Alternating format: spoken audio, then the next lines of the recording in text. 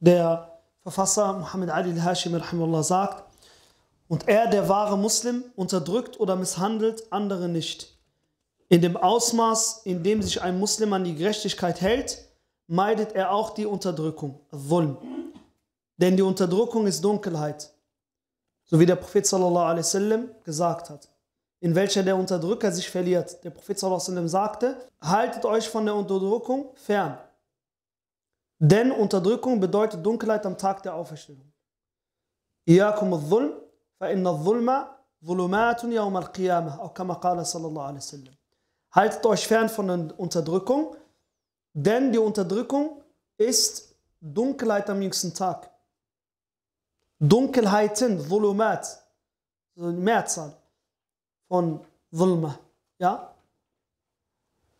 Das heißt, derjenige, der andere unterdrückt, andere misshandelt, er wird am nächsten Tag Dunkelheit erfahren. Und er wird am nächsten Tag bestraft werden von Allah subhanahu wa ta'ala. يا ذاكر الأصحاب كن متأدبا